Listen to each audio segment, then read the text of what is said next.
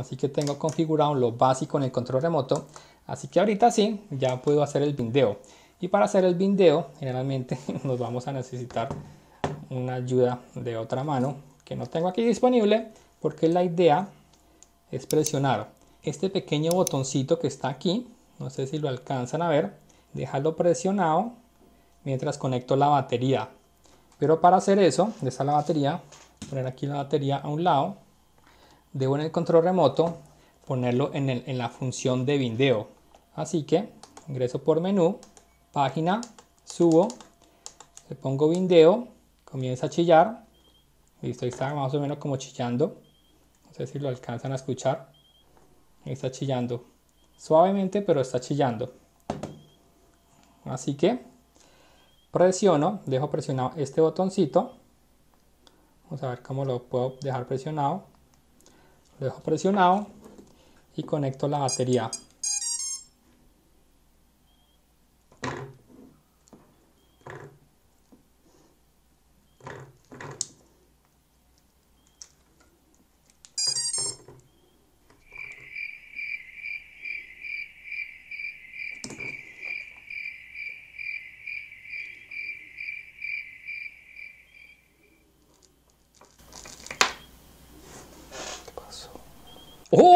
¿Qué más amigos de YouTube? Bienvenidos nuevamente a mi canal de drones baratos caseros y lo que ustedes acaban de ver fue el momento exacto cuando la controladora de vuelo se me quemó. ¿Por qué se quemó?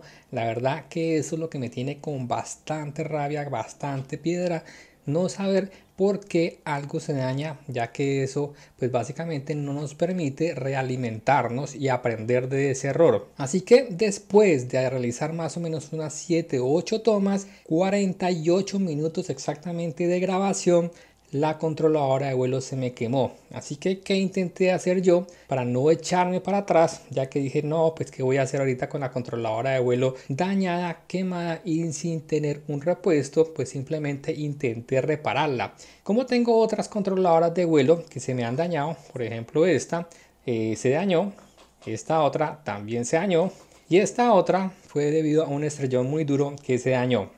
Pues básicamente lo que me di cuenta de esa controladora es de que el regulador de 3.3 voltios estaba bien bien caliente. Generalmente ese regulador es el que se daña. Así que sin mucha experiencia con soldadura superficial, lo que hice fue ponerme a ver videos de cómo retirar el integrado, que básicamente debía yo cambiar. Así que lo que hice fue practicar en esta controladora de vuelo y retirar retiré dos de estos integrados y además de eso también retiré el que estaba en esta controladora que fue básicamente el primero que retiré y cuando lo retiré básicamente lo retiré sin los dientecitos así que cuando vi que lo dañé que fue este lo retiré y no salió con los cinco dientes con los que viene, sino que únicamente quedó con dos dientes. Dije, no, pues voy a mirar videos en YouTube para poder ver cómo se deben quitar estos integrados. Así que de esa forma quité el que estaba aquí, más o menos por acá donde estoy señalando, y el que estaba aquí. Este lo retiré y este es el que estaba funcionando, ya que encendí esa controladora,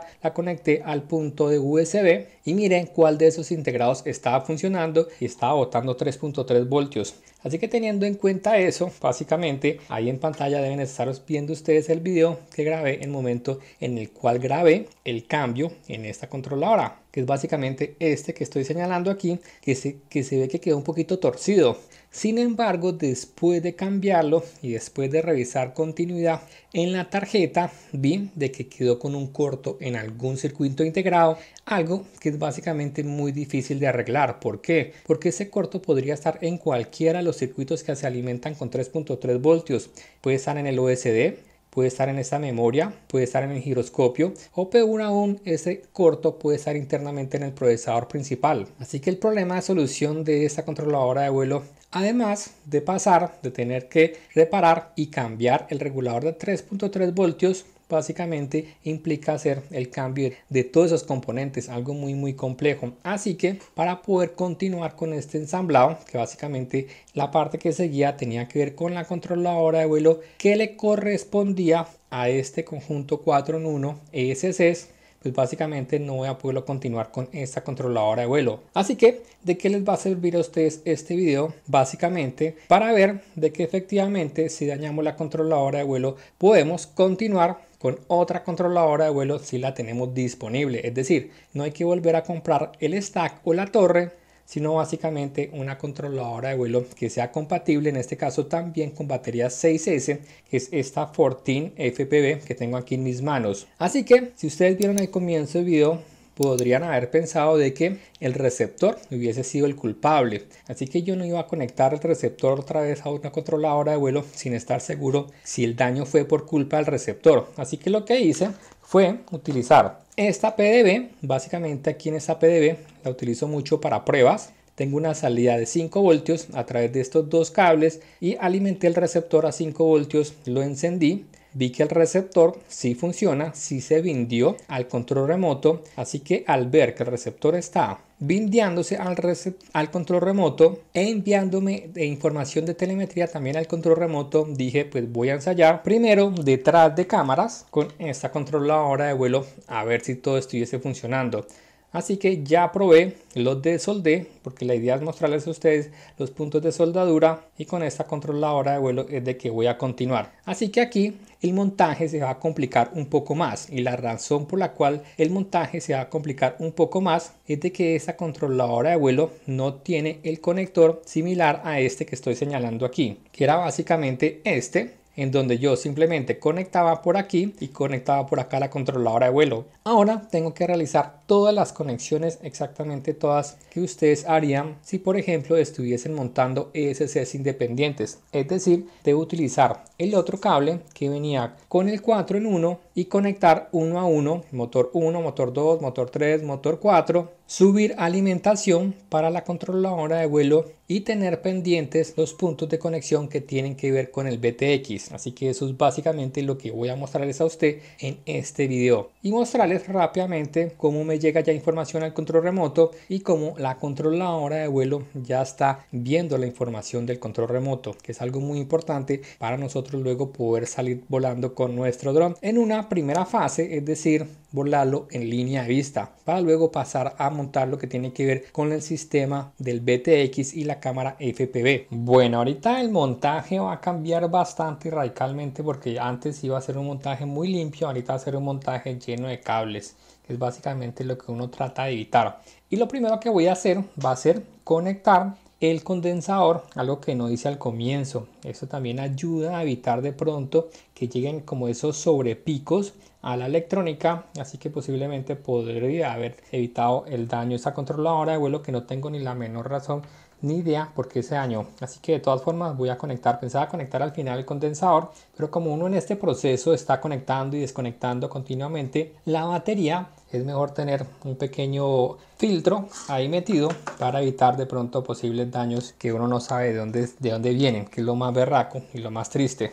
Así que voy a prestañar el cable. Todo es mucho más fácil si uno prestaña los cables. Y luego ahí sí ya solda lo que va a soldar. estando prestañado el cable, ya puedo soldar el condensador. Al soldar el condensador es muy importante de que estos condensadores generalmente tienen una raya blanca. La raya blanca lo que indica es la tierra, así que es ahí donde voy a poner la tierra. Y también muy importante utilizar un termo encogible, no sé si alcanzan a ver aquí, este cosito negro que tiene este cable. También lo tiene este otro.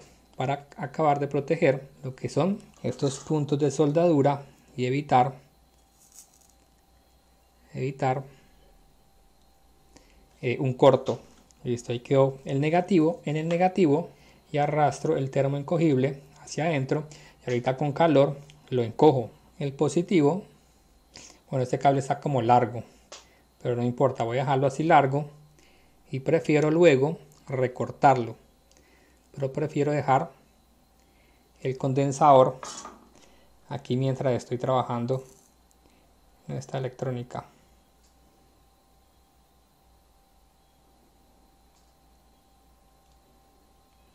esto no me quedó no me gustó cómo quedó. Que la punta no tiene ah es que está floja. Comienza como a aflojar no peor aún que no está floja y no está cogiendo estaño, así que está sucia la punta. ahorita sí les voy a mostrar aquí que la punta está floja. No sé si alcanzan a ver aquí vamos a enfocarla. Y con el alicate enrosco la punta cuando se afloja también pierde calor. Así que ya quedó el condensador puesto y voy a deslizar en termo encogible importante ponerle en termo encogible y con un pequeño encendedor encogemos aplicamos un poco de calor para que el termo encogible no se mueva y la idea del que el condensador va a quedar más o menos aquí cercano al stand que va a ir ahí pero más adelante le recorto eh, la longitud a este cable simplemente por el momento lo quiero tener ahí funcional para cada vez que yo conecte la batería haya un poco de filtrado ahí y eliminación de picos de voltaje así que como este montaje va a ser un poco complejo voy a tener que, pienso yo, esta controladora de vuelo, la mayoría de sus puntos de conexión están en la parte superior. Sin embargo, en la parte inferior tiene dos o tres puntos de conexión que voy a necesitar yo. Si yo volteo la controladora por este lado, estos tres puntos de conexión los voy a necesitar. Creo que voy a necesitar únicamente dos. De izquierda a derecha Aquí debería salir 5 voltios y por alguna razón, muy posiblemente por eso dejé de utilizar esta controladora y la tenía por ahí guardada, ya no están saliendo 5 voltios, que serían los 5 voltios como para alimentar el BTX. Así que esos 5 voltios los voy a coger directamente del 4 en 1. El 4 en 1 tiene un regulador de 5 voltios, así que de ahí voy a alimentar el BTX para no alimentar el BTX del punto de 5 voltios que tiene esta tarjeta. Según la ficha técnica puede soportar hasta 2 amperios, puede soportar bastante, pero lo ideal es no sobrecargarla y el BTX va a estar manejando bastante corriente. Luego el punto del centro es TX4, es decir, es una salida serial por la cual voy a manejar el Smart Audio del BTX y este tercer punto que estoy señalando aquí es la tierra, así que voy a conectar un cable de aquí a tierra al BTX y conectar de una vez lo que es el Smart Audio o no necesariamente conectar todavía al BTX y dejar eso para después pero sí soldar unos cables para que salgan de una vez. Así que la parte del BTX la podría dejar realmente dejar para después sacar los cables que tengan más o menos la longitud que lleguen más o menos a este punto que son dos puntos que voy a utilizar tierra tierra y TX4 voy a cortarlos y soldarlos. Así que voy a soldar primero lo que es el TX4 que me va a permitir lo que es el Smart Audio. Vamos a ver por dónde lo cojo. Por aquí así. Listo. Y ahora la tierra que va a ir al BTX. Son los dos únicos puntos que necesito soldar. Listo. Soldados, soldados.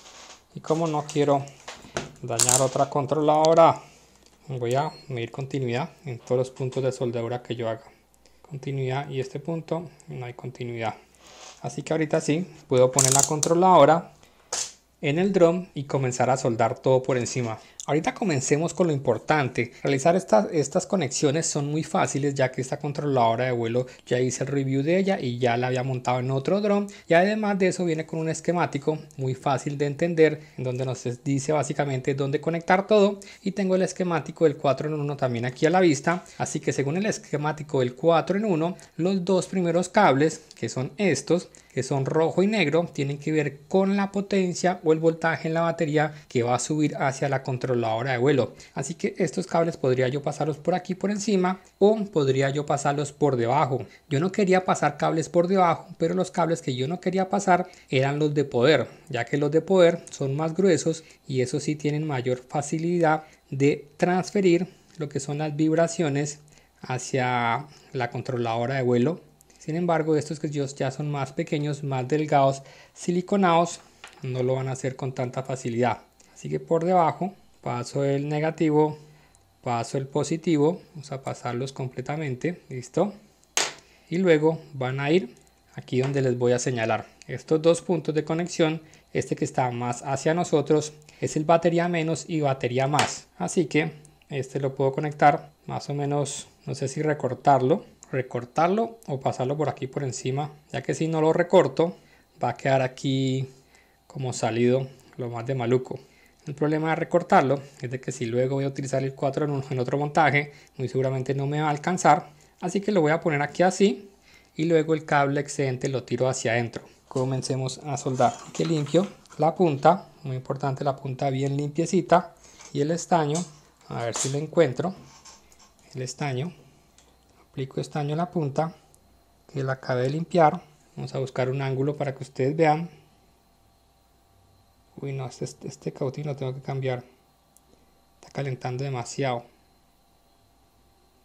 Negativo. Debería quedar como en un ángulo hacia adentro. Negativo.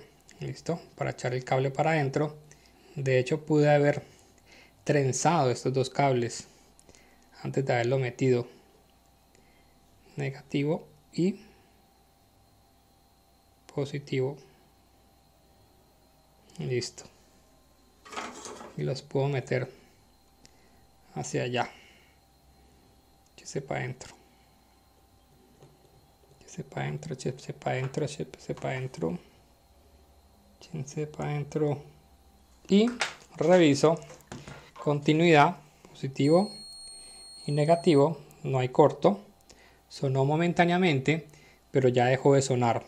Y si los invierto deberá sonar continuamente marcando algún valor. Así que no hay un corto físico.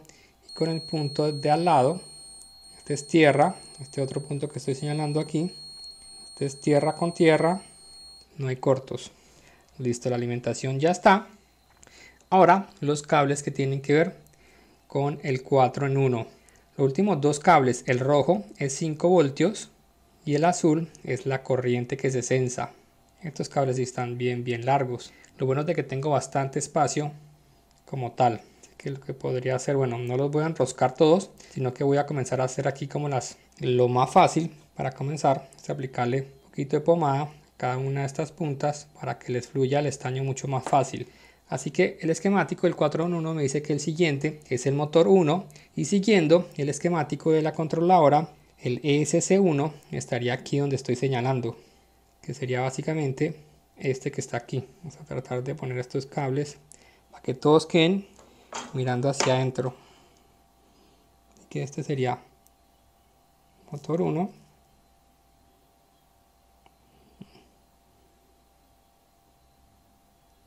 motor 1 luego el siguiente.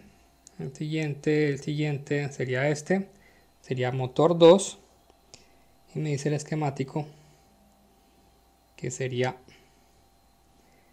voy a tener que luego amarrar estos cables como con una amarra que sería este acá que me van a quedar estorbando bastante hasta para realizar las soldaduras. ESC me dice que este es tierra y este es el ESC2. Listo. ESC2. Ahora ESC3 iría acá.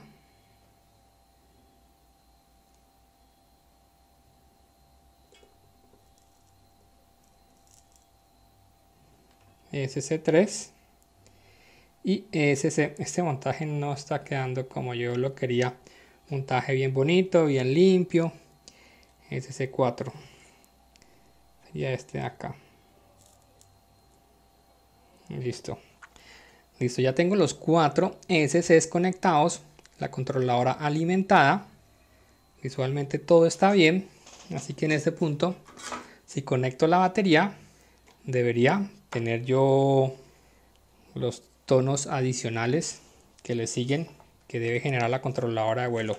Si no, he quemado dos controladoras en un mismo día. Así que, última revisión, tierra correctamente puesta, batería menos, más adentro, y luego batería más, más afuera, y los ESCs están correctamente puestos, ESC1, ESC2, ESC3. Mm, me estaba demorando esos segundos tonos. Se demoraron y me hicieron sudar. Se demoraron y me hicieron penar. Listo. Desconecto. Y conectemos otra vez. Listo, bueno. Tenemos controladora de vuelo funcionando. Ahorita, este azul va a ser 5 voltios va a ir por allá, 5 voltios para voy a cortarle esto de que este moñito aquí o, pongamos, o le voy a poner una cintica una cintica simplemente por seguridad para que no queden esos 5 voltios ahí en el aire ya que harán parte de la alimentación del, PTX listo 5 voltios protegidos. Ah no mucha hueva este no era. Es el rojo es el rojo el que debo proteger. 5 voltios. Y el que debo soldar es el azul que corresponde a la corriente al sensor de corriente. El sensor de corriente según el esquemático uy no es que reguero de cables. Según el esquemático sensor de corriente es este que está por acá. Sensor de corriente. Vamos a aplicarle un poquito de pomadita para que entre mucho más fácil.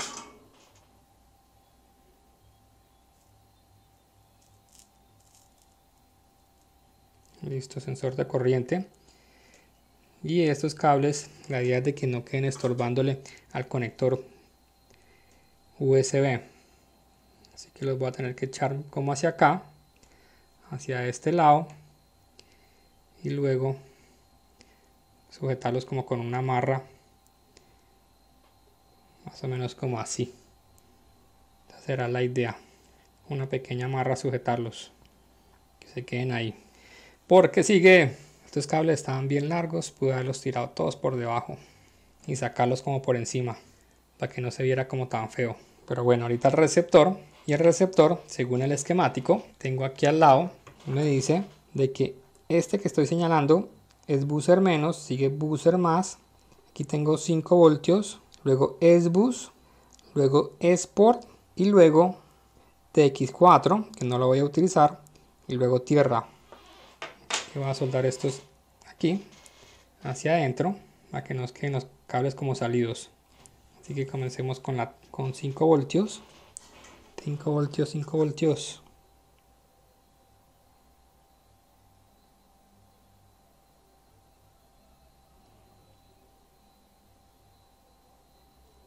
...5 voltios... ...luego SBUS... ...que es el verde...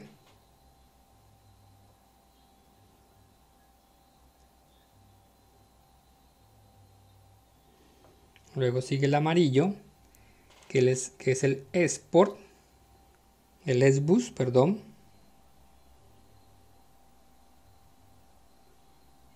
Listo. Y finalmente la tierra. Aquí en esta otra tierra. Tierra está como larga.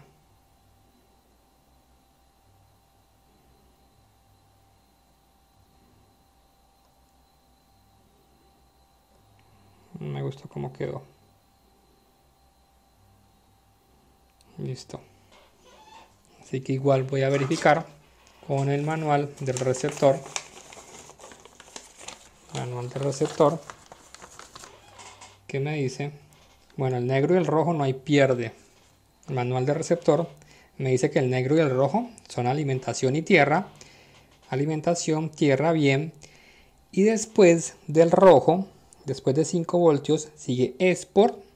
El Sport es el amarillo que efectivamente puse donde debe ser en esta controladora de vuelo. El amarillo. Y el importante que es el S-Bus es el verde en este caso que iría al lado en esta controladora del BCC. Cables todos largos, todos feos. Puedo entrar nuevamente a conectar. Listo. Muy importante. Recuerden que hay que proteger nuestro receptor para que no haga contacto con la parte del chasis ni con ninguna parte metálica.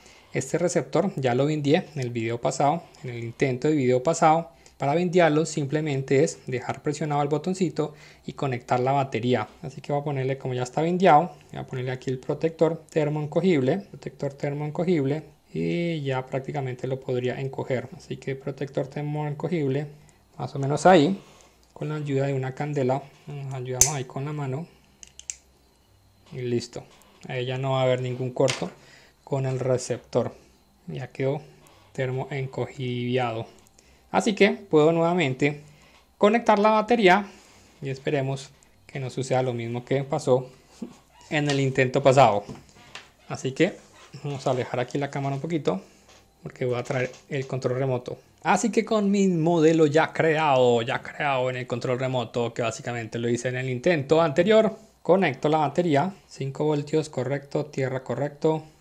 Bueno, vamos, me faltó revisar aquí rápidamente una prueba de continuidad rápida sobre las últimas cosas que soldé. Prueba de continuidad, tierra, no hay corto, no hay corto, no hay corto, no hay corto y se debería estar sonando. Correcto, conecto, tin, tin, tin, tin, tin. Correcto, tengo información en el control remoto y en este caso no puedo armar listo. En este caso no está armando porque no he configurado las palancas de armado si no estoy mal. Bueno voy a hacer una preconfiguración ahí rápidamente en Betaflight. Aunque el tema de Betaflight lo voy a dejar para el siguiente video. Ahí apagué el control remoto y la controladora de vuelo comienza a titilar la luz, es decir que se dio cuenta de que entró a failsafe. Bueno, ya ingresé al Betaflight y rápidamente hice unas configuraciones simplemente como para establecer qué o relacionar qué debe pasar cada vez que yo mueva alguna palanca importante en el control remoto. Esa configuración de Betaflight más adelante se la repaso en otro video. Así que si yo por ejemplo conecto aquí ya la batería, listo suenan los primeros pip pip pip luego los segundos pipiripip y aquí puedo ver en el control remoto que efectivamente tengo la potencia o la señal de potencia full. Y también si yo verifico aquí rápidamente en el mando y yo ingreso por aquí ingreso por la opción de telemetría básicamente para que me muestre los valores de telemetría. Aquí me muestra lo que es RCCI el voltaje del receptor y me tiene que estar mostrando por ejemplo el voltaje en la batería por acá más adelante ajá. Voltaje fast es voltaje de la batería 11.3 y aquí tengo temperaturas y también otros datos bien importantes que tienen que ver con lo que es la controladora de vuelo. Así que tengo telemetría y puedo configurar por ejemplo alarmas audibles que me indiquen cuando me estoy alejando demasiado del dron del control remoto y en este caso todavía no he conectado el buzzer. Si yo moviera esta palanca activaría el buzzer. Ustedes pueden ver ahí un LED que comienza a titilar. Y si yo activo esta otra palanca que voy a mover aquí, armo los motores. La configuración de del giro de los motores la voy a poner y la voy a dejar girando hacia afuera. Así que aquí rápidamente, este está girando en el sentido que yo quiero. Este está girando hacia adentro. Este está girando hacia afuera. Este está girando hacia adentro. Cuando pase a ver lo que es eh, configuración de Betaflight, les mostraré cómo hacer el, giro o la inversión de giros de los motores. Listo. Aparentemente todo está funcionando bien. Desarmo motores. Ah, armemos motores aquí. Listo, así que eso todo por este video. Básicamente trataba de lo que era el receptor y la controladora de vuelo. La idea era montar la controladora que le correspondía a este stack. Sin embargo, se quemó se quemó. ¿Por qué se quemó? No tengo ni idea. El receptor no causó la quema, simplemente se quemó porque sí, alguna falla de fábrica, alguna algo que, mejor dicho, hubiera sido mejor que se hubiera quemado aquí en el escritorio y no que se me hubiera quemado de pronto volando, se me pierda el dron o en el campo de vuelo y quede uno todo desilusionado porque va a volar, pues en uno de sus vuelos se queme y uno menos sepa qué fue lo que pasó. Se quemó cuando se debió haber quemado, son cosas que pasan, son cosas de las cuales nosotros nos tenemos que preparar porque van a pasar. Esta electrónica, estos dispositivos montados sobre estos drones que se estrellan continuamente con mucha fuerza, generalmente los golpes terminan acabando con ellas, haciendo que sea todo más frágil y básicamente tarde o temprano se van a terminar dañando. Tengan ustedes que hacerse la idea a eso de que tienen que estar comprando repuestos. Hasta la próxima, like, like, like. No se pierdan la siguiente parte que tendrá que ver con todo lo que es la cámara FPV, el transmisor de video y muy seguramente para que esta serie no sea más larga, incluiré de una vez poner el buzzer inteligente y comenzar a pensar dónde, al ya tener yo la cámara FPV puesta, pensar dónde voy a poner el condensador, que muy seguramente lo pongo por acá, amarrado al lado del stand. Este cable, este cable salió hacia arriba, va a estorbar, va a salir de la altura del chasis, así que el condensador va a tener que ir acostado o posiblemente puedo lo que puedo hacer es doblar los cables del condensador para que los cables salgan por un lado y no salgan por arriba. Esa sería como una mejor solución ya que como pueden ver con los cables saliendo hacia arriba pues básicamente cuando yo ponga la tapa van a estorbar van a tener que salir diagonalmente hacia un lado. Y también voy a proteger el condensador con termo encogible así que todo eso será parte del siguiente video. Es decir en estos momentos podría yo volar el dron después de invertir el giro de las hélices y hacer unas configuraciones de rates y esas cositas así, ya que para freestyle necesitamos unos rates mucho más rápidos que los que utilizamos en carreras, más o menos 800 eh, grados por segundo, pienso yo que generalmente lo dejo para lo que es freestyle. Así que hasta la próxima, like, like, like y muchas gracias.